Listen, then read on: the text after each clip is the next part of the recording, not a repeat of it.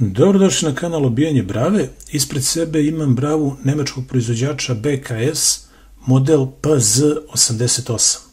Ne, ja ispred sebe imam bravu nemačkog proizvođača BKS model PZ88. Jedna od ove dve brave je lažna. A koja je lažna i kako prepoznati lažnu bravu, ostanite sa mnom i saznajte.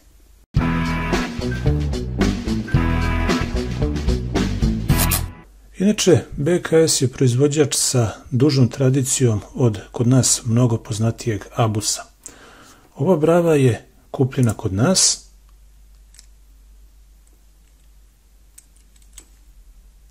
Evo, tu je i kutija. Cena ne baš tako jeftina. Brava je bila upakovana. Tu je i šraf. Tri ključa sa logom firme. Dakle, sve što ide uz jednu bravu. A ovo polovče koje mi je stiglo iz Engleske piše BKS i ništa više. Čak ima i ovu ovde rupu viška. A ni ovaj BKS ključ, evo kao što se vidi, ne pasuje u ovu bravu. Dakle, sve ukazuje na to da je ovo lažnjak.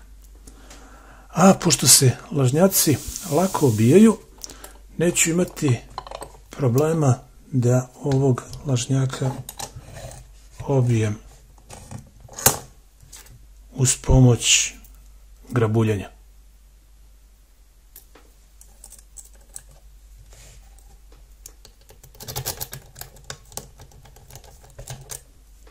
Međutim, evo, odmah sam upao u false set.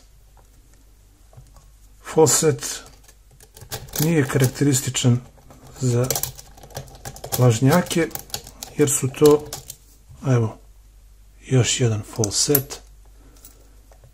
Dakle, brave sa sigurnosnim pinovima uvek upadaju u false set. Evo, probat ću i sa druge strane, sa grabuljanjem.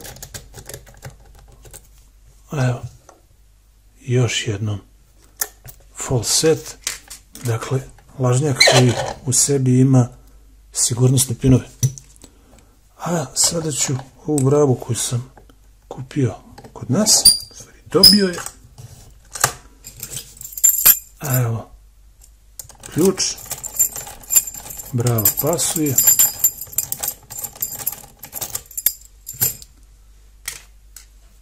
I ona takođe trebalo da pruži otpor prilikom obijanja, ali kao što se vidi ništa od toga.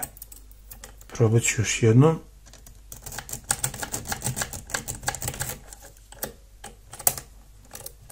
Da probam na drugu stranu.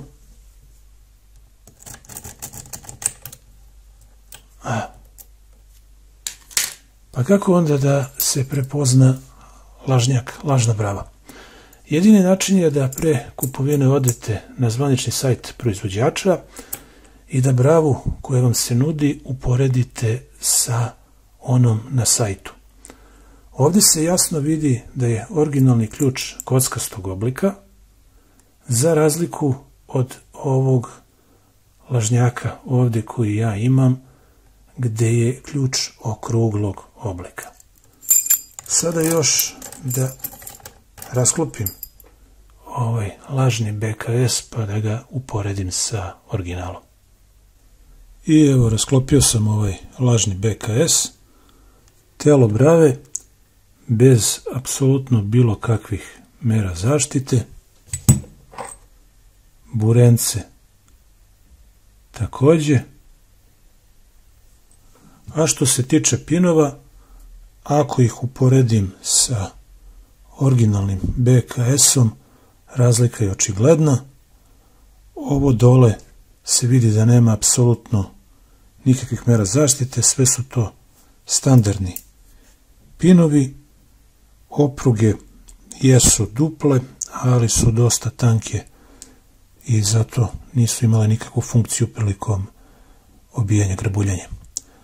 To bi bilo to Čuvajte se lažnjaka. Hvala na pažnji i zapratite kanal Obijanje brave.